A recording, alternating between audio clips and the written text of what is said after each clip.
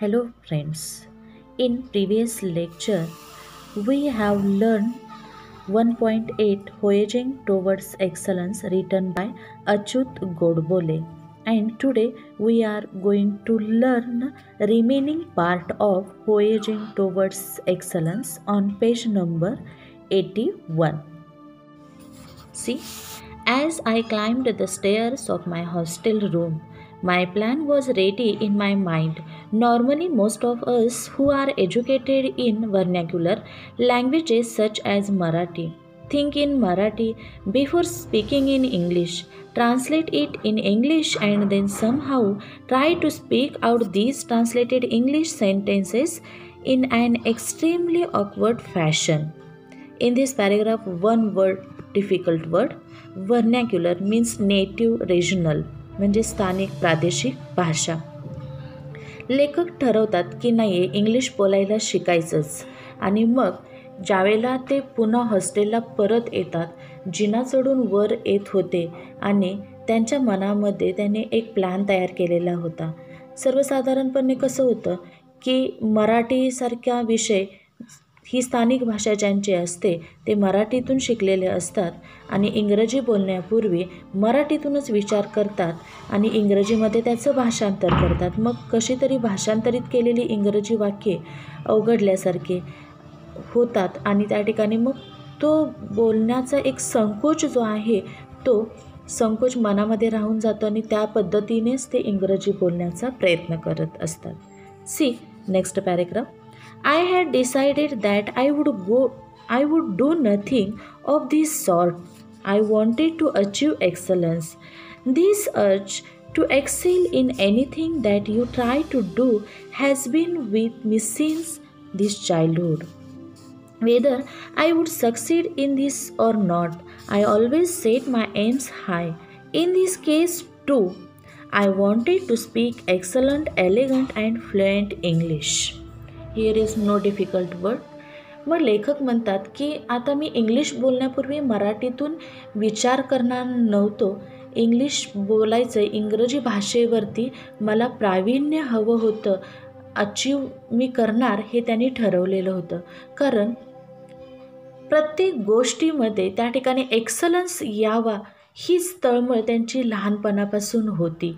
मग ते म्हणायचे की मी त्या गोष्टीमध्ये यशस्वी हो न होणं हो पण ध्येय ठेवायचं असेल तर ते नेहमी उच्चच ध्येय ठेवायचं एक्सलन्ससाठीच प्रयत्न करायचा. हे लेखकांच्या बाबतीत लहानपणापासूनच ठरलेलं होतं. आणि म्हणूनच जर इंग्रजी बोलायचं तर ते त्या ठिकाणी उत्कृष्ट आणि अस्खलितच इंग्रजी बोलायचं हे त्यांनी ठरवलेलं आहे. See next paragraph the first thing I did was to start reading English newspapers and English novels I studied etymology and phonetics and studied the roots of the words and how to pronounce them. I used to stand in front of the mirror and practice speaking, realizing my mistakes and correcting them myself all the times and improving and improving day by day. या पॅरेग्राफमध्ये दोन difficult word आहेत etymology म्हणजेच the study of origin and history of the word म्हणजेच व्युत्पत्तीशास्त्राचा लेखकाने अभ्यास केला.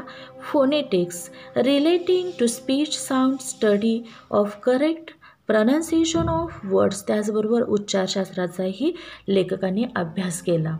मग लेखक जे आहेत ते इंग्रजी सुधारण्यासाठी इंग्रजी वर्तमानपत्र वाचायला सुरुवात केली. इंग्रजी कादंबऱ्या वाचायला त्यांनी सुरुवात केली. उत्पत्तीशास्त्र असेल उच्चारशास्त्र असेल त्याचा अभ्यास केला. आणि नेहमी आरशासमोर उभं राहायचे आणि बोलण्याची प्रॅक्टिस करायचे. त्यामुळे त्यांच्या काय चुका होत आहे ते त्यांचं त्यांना समजू लागलं. त्यात सुधारणा करत गेले आणि दिवसेंदिवस त्या ठिकाणी सुधारणाच होत गेली. See next paragraph it took about nine to ten months by which time I started feeling quite confident about speaking in English at length with anybody. My fear had vanished and I started feeling at home in my hostel.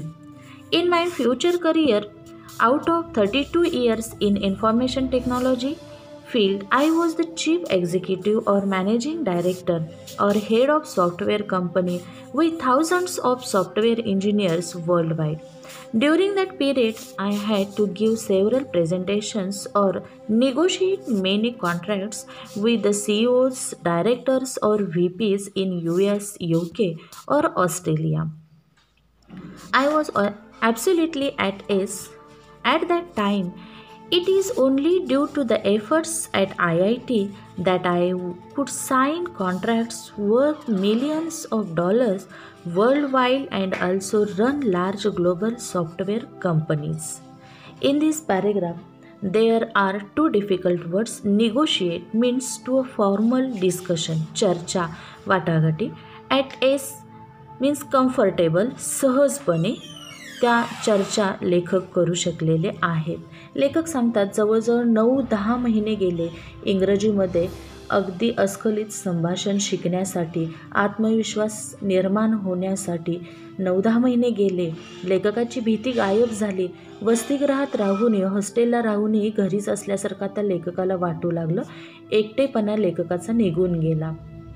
लेखक म्हणतात की पुढील जीवनात बत्तीस वर्ष I T क्षेत्रामध्ये chief executive managing director जगभरातील हजारो सॉफ्टवेअर इंजिनियर असणाऱ्या कंपनीचा प्रमुख झाले ते. त्या कालखंडात कित्येक प्रोजेक्ट सादर करावे लागले अनेक कंपन्यांबरोबर चर्चा करावी लागली. अमेरिका इंग्लंड ऑस्ट्रेलियातील डायरेक्टर व्ही पी यांच्याबरोबर चर्चा करताना कुठल्याही प्रकारचं दडपण राहिलं नाही. ते फक्त आय आय टी मध्ये असताना अर्धा महिने इंग्रजीची प्रॅक्टिस चांगली केल्यामुळं लाखो डॉलर किमतीच्या निवेदनांवर निवेदांवर सह्या करता आल्या. आणि आंतरराष्ट्रीय सॉफ्टवेअर कंपनी जी आहे ती कंपनी लेखक चालवू शकलेला होता. See next paragraph on page number eighty one and remaining part in page number eighty two at I I T I got fairly good marks in my first two years. However, a very important thing happened while I was in my third year. I came in contact with about 50 to 20 extremely brilliant students, researchers, professors from IIT and TIFR and BARC. They included top ranking students from IIT, visiting professors in America. See on page number 82. American universities and very renowned mathematicians in the world and so on. I was instantaneously attracted to this group. This friendship had a lasting impact on my life. Until that time, I used to consider myself somewhat intelligent. However, after I met my friends in our group, I came to know what real brilliance meant and I realized where I stood. I was actually also very lucky that I came in contact with great people on the global scale early in my life. Later in my life, when Mr. Narayan Murthy left Patni to start Infosys, I started heading Patni's software division, occupying the same chair. My head office was in Cambridge, Massachusetts, USA, very near Boston. It was, in fact, the adjacent building to MIT in America. I had to visit the US every few months in those days. I used to visit MIT during lunchtime to meet my friends. There, one could see a couple of Nobel laureates at the dining table. If you walked for an hour from there, you could reach Harvard Square near Harvard University. I used to visit both of these universities and could talk to a number of Nobel laureates.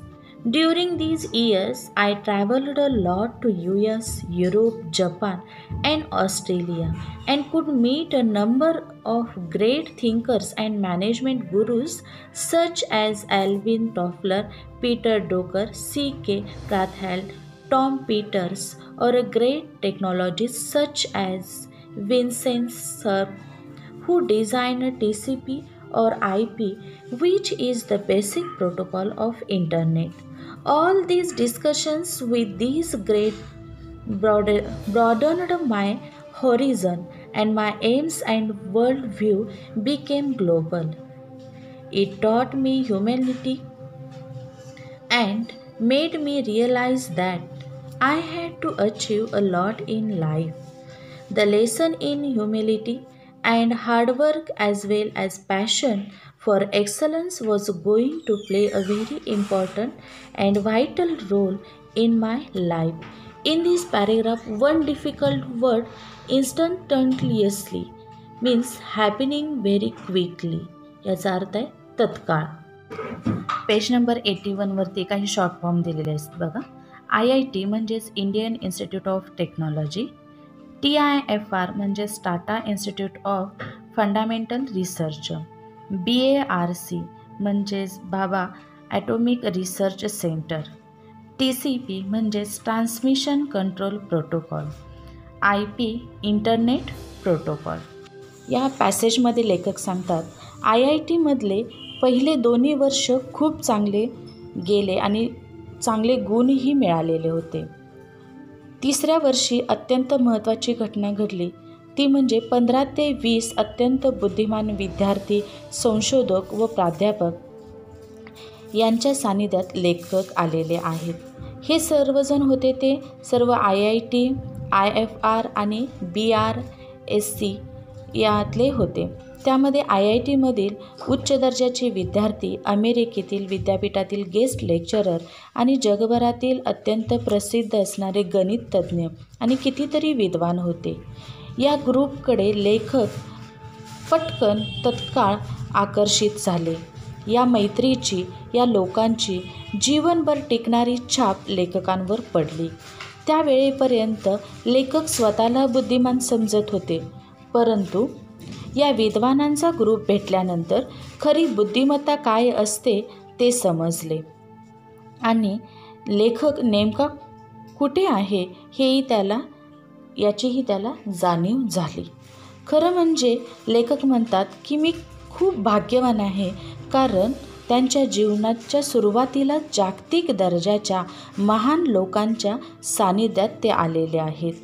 नंतर लेखकांच्या जीवनात जेव्हा श्री नारायण मूर्ती पटनी सोडून इन्फोसिस सुरू करायला गेले तेव्हा पटनी सॉफ्टवेअर विभागाचा प्रमुख म्हणून त्याच खुर्चीत लेखक बसले. त्याचे मुख्य कार्यालय बोस्टनजवळ अमेरिकेतील मेसॅच्युसेट या राज्यात केम्ब्रिज या ठिकाणी होते. ती अमेरिकेतील एम आय टीच्या जवळच होती. लेखक लेखकांना त्यामुळं अमेरिकेला सारखं जावं लागायचं. एम आय टीत असणाऱ्या लेखकांच्या मित्रांना भेटण्यासाठी जेवणाच्या वेळी ते सतत जात होते. तेथे डायनिंग टेबलवरती लॉरिएट म्हणजेच त्या ठिकाणी नोबल पुरस्कार विजेते लेखकांना भेटले. तिथून तासभर पुढं गेलं तर हार्वर्ड चौक आहे आणि हार्वर्ड चौकामध्ये हार्वर्ड विद्यापीठ आपण पाहू शकतो. लेखक या दोन्ही विद्यापीठांना भेट देत होते आणि अनेक नोबल पुरस्कार प्राप्त व्यक्तींशी चर्चा करत होते. या काही वर्षात लेखक अमेरिका युरोप जपान आणि ऑस्ट्रेलिया या देशात अनेकदा प्रवास केला आणि अनेक महान विचारवंत व मॅनेजमेंट गुरूंना भेटले. त्यातील Alvin Toffler Peter Drucker C K Prahalad Tom Peter किंवा विन्सेंट कर्फ यांनी इंटरनेटमधील basic protocol T C P आणि आय पीची रचना केली. या सर्वांना लेखक भेटू शकलेले होते.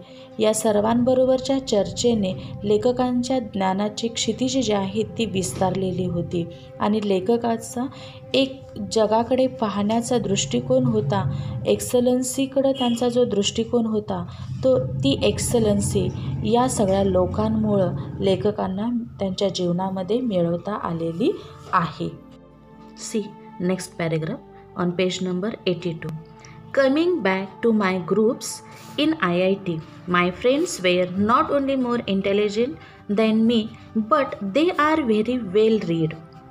They had interest in all the subjects like science, technology, sociology, psychology, economics, philosophy, anthropology, archaeology, political science, etc.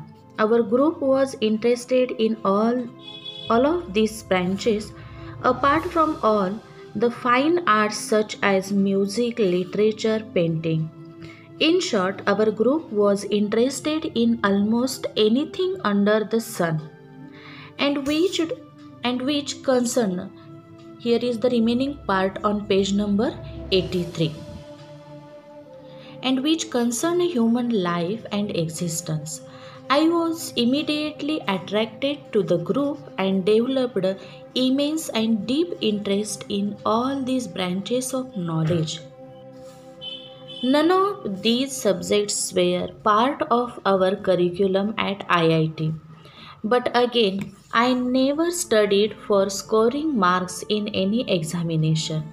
Here was a sea of knowledge in front of me which I thought was necessary to pass the examination of life, which was far more important than just passing IIT examination.